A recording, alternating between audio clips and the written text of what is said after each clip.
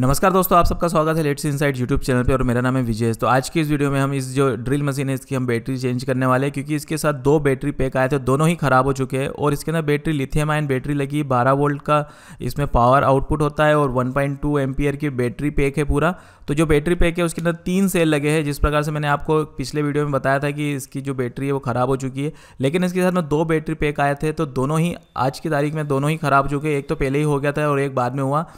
तो लगभग जो ये ड्रिल मशीन है, ड्रिल मशीन बिल्कुल बढ़िया तरीके से काम कर रही है। इसका मैंने स्विच भी रीअसेंबल करा है। आपने उसका वीडियो नहीं देखा तो वो भी वीडियो देख सकते हो आप। तो पहले मैंने सोचा था कि मैं नई ड्रिल मशीन खरीद लेता हूँ, फिर बाद में सोचा कि नहीं है, इसकी हम बैटरी चेंज करेंगे क्योंकि ड्रिल मशीन बढ़िया है।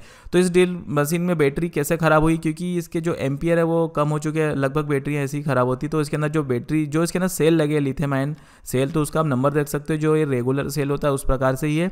तो one eight six five zero इसका नंबर है बैटरी का और ये वन पंद्रह सौ एम एच की सिंगल सेल है।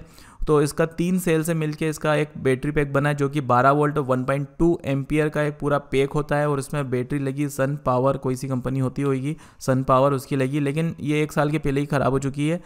तो इस प्रकार से कुछ बैटरी होता है, इसका यह कनेक्टर होता है जो हमारी ड्रिल मशीन में फिट हो जाता है तो कुछ इस प्रकार से है। तो इसकी मैं बैटरी जो है वो चेंज करने वाला हूँ, इसको बैटरी बोले या सेल बोले, पता नहीं, लेकिन मैं सेल बोलूँगा। यदि सिंगल सेल की बात करेंगे तो सेल बोलूँगा और यदि बैटरी भी हो तो आप थोड़ा बहुत एडजस्टमेंट कर लीजिएगा। तो ये सिस्का का पावर बैंक है तो इसके अंदर भी लिथियम आयन बैटरी के सेल लगे हैं तो लिथियम आयन सेल लगे तो आप इसको देख सकते हो। तो इसको मैं मैंने इसको अभी अभी ही ख़रीदा था तो मैंने इसका भी वीडियो आपको बताया था कि इसके अंदर लिथियम आयन बैटरी लगी है तो इसका हम यूज़ काफ़ी अच्छी तरीके से कर सकते हैं। तो इसके अंदर जो सेल लगे हैं, वो टोटल पाँच सेल लगे हैं और एक सेल की जो कैपेसिटी है, वो 2000 हज़ार की है तो इस प्रकार से उसको हम ओपन करेंगे। ओपन करते समय आपको ध्यान रखना है कि कुछ भी अंदर डैमेज नहीं होना चाहिए, क्योंकि लिथियम आयन सेल बड़े ही नाजुक होते हैं। यदि उसके अंदर स्क्रू ड्राइवर अंदर घुस गया या कुछ उसमें हो गया प्रॉब्लम तो वो डैमेज ज़्यादा होता है और उसमें आग भी लग सकती है और कुछ भी हो सकता है तो उसको आपको बहुत ही संभल के काम करना है।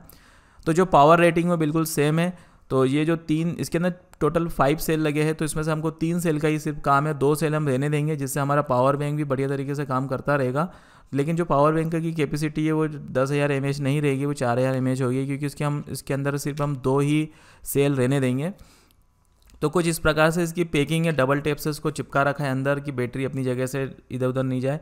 तो इसको आप देख सकते हो, पूरे ही पाँचों सेल को इसमें पैरेलल में कनेक्ट कर रखा है और इसकी कैपेसिटी आप देख सकते हो, जबकि ये 2000 हज़ार की है इसमें भी वही नंबर की बैटरी डली है one eight six five zero दो हज़ार एम की बैटरी इसमें भी वही लगी है। बैटरी मतलब सेल लगा हुआ है। तो हमको एक बैटरी पैक बनाना है बारह वोल्ट का।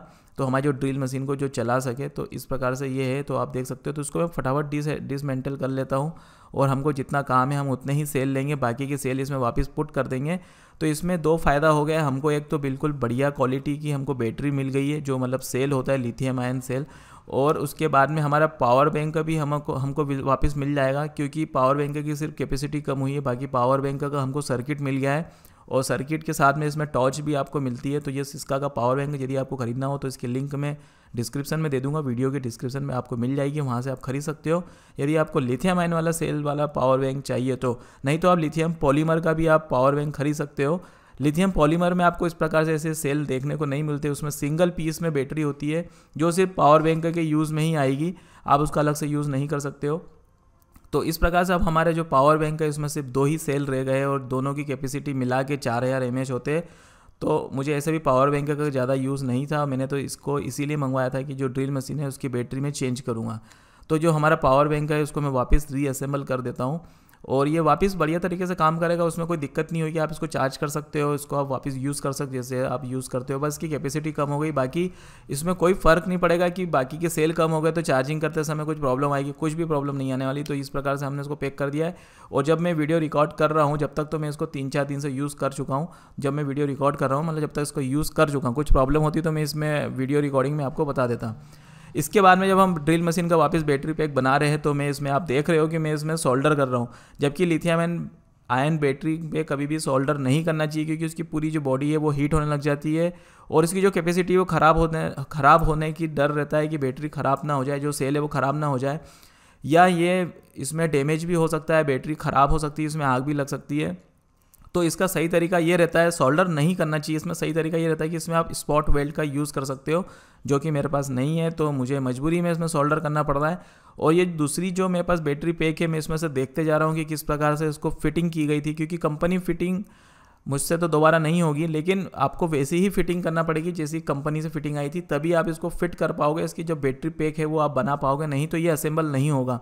तो इस प्रकार से हम, मुझे जो बैटरी पैक है, उसको देख देख के देखना पड़ता है कैसे क्या असेंबल करना है। इसमें तीनों बैटरी सीरीज़ में लगी है और जो पावर बैंक में थी, उसमें पैरेलल में लगी थी, लेकिन इसमें सीरीज़ में लगी है। इस इस कारण ही इसमें, इस वजह से ही इसमें साढ़े बारह वोल्ट के आसपास का आपको वोल्ट मिलेगा। तभी आपकी ड्रिल मशीन काम कर पाएगी और जो ड्रिल मशीन के अंदर के जो सर्किट लगे वो बारह वोल्ट के हिसाब से ही लगे। तो दोस्तों, इस प्रकार से मैंने इसमें सभी वायर को कनेक्ट कर लिया है। और ये पूरा बारह वोल्ट का जो हमारा बैटरी पैक था वो कंप्लीट हो गया आप देख सकते हो। मल्टीमीटर में इसमें जो वोल्टेज आ रहे हैं, सारे, साढ़े बारह वोल्ट के लगभग आ रहे हैं। तो हमको वैसे ही पैकिंग करनी जैसी कंपनी से आई थी, नहीं तो ये पैकिंग पूरे पैकेज नहीं बन पाएगा और वो असेंबल नहीं हो पाएगा। जो उसकी हाउसिंग है, उसमें असेंबल नहीं हो पाएगा। थोड़ी दिक्कत होती है, लेकिन हो जाता है काम तो अभी हम फाइनल रिज़ल्ट भी देखेंगे कि हमने इतना सब मेहनत करी तो हमारा जो फाइनल रिज़ल्ट है वो कैसा क्या रहता है। तो इसमें आपको बस सिंपली सोल्डर करना है और ये हमारा बैटरी पैक तैयार हो गया। इसमें किसी प्रकार का कोई प्रोटेक्शन सर्किट नहीं है, क्योंकि प्रोटेक्शन सर्किट इसमें जो प्रोटेक्शन सर्किट है वो ड्रिल मशीन में मिलेगा आपको और बाकी का प्रोटेक्शन सर्किट जो इसके साथ में जो चार्जर आया था उसमें मिलेगा। तो इस इस बैटरी पैक में कोई प्रोटेक्शन सर्किट नहीं है तो इसका आप यूज़ ड्रिल मशीन के अलावा कहीं और नहीं कीजिएगा तो ज़्यादा अच्छा रहेगा, नहीं तो आपको लगेगा कि 12 वोल्ट तो हम कहीं भी लगा के 12 वोल्ट यूज़ कर लेंगे, लेकिन इसमें कोई प्रोटेक्शन सर्किट नहीं है, इसका आपको यूज़ कहीं और नहीं करना है, सिर्फ़ जो ये ड्रिल मशीन है इसी के साथ आपका यूज़ करना है, क्योंकि इस ड्रिल मशीन के अंदर ओवर डिस्चार्ज और शॉर्ट सर्किट प्रोटेक्शन का सर्किट लगा हुआ है जो मैंने इसके पहले वीडियो में आपको ड्रिल मशीन का बताया था इनसाइड करके बताया था, उसमें मैंने आपको बताया था, इसमें प्रोटेक्शन सर्किट है। अब हम इसकी पावर टेस्ट करते हैं कि इसमें जो टॉर्क था, पहले जितना टॉर्क था वो आ गया कि नहीं आ गया बिल्कुल इसमें पावर और टॉर्क दोनों ही आ गया है आप देख सकते हो। अभी मैं इसकी टॉर्क लिमिट फुल पे कर देता हूँ, इसमें 18 पॉइंट तक टॉर्क लिमिट है तो आप देख सकते हो फुल टॉर्क में चल रहा है और जो उसमें से आवाज़ जो आ रही है, वो क्लच की आवाज़ आ रही है क्लच स्लिप हो रहा है इसमें से, क्योंकि इसमें पावर बिल्कुल फुल हो गया है। और अब ये ड्रिल मशीन जैसी नई आई थी, उससे भी ज़्यादा अच्छी तरीके से काम करने लग गई है। अब मुझे नई ड्रिल मशीन खरीदने की ज़रूरत नहीं क्योंकि मैंने सोचा था कि कोई सी अच्छी कंपनी की ड्रिल मशीन खरीद लेता हूँ। जो इस ड्रिल मशीन के साथ जो बैटरियाँ आई थी, जो सेल है, जो बैटरी पैक है, मैं इसको वापस से डिसमेंटल कर लूँगा और इसका मैं दूसरा उपयोग करूँगा तो उस पर भी मैं वीडियो जल्दी जल्दी बनाऊँगा। और ये वीडियो आपको कैसा लगा, मुझे कमेंट बॉक्स में ज़रूर बताइएगा। वीडियो पसंद आया तो लाइक ज़रूर कीजिएगा, सब्सक्राइब कर लीजिए चैनल पर यदि पहली बार हो तो और अपने दोस्तों को ये वीडियो व्हाट्सएप या फेसबुक के ज़रिए जैसा भी आप उनको लिंक शेयर कर सकते हो इस वीडियो की तो उनको शेयर करके ज़रूर बताइएगा ये वीडियो। और ये वीडियो देखने के लिए आप सभी का बहुत बहुत धन्यवाद।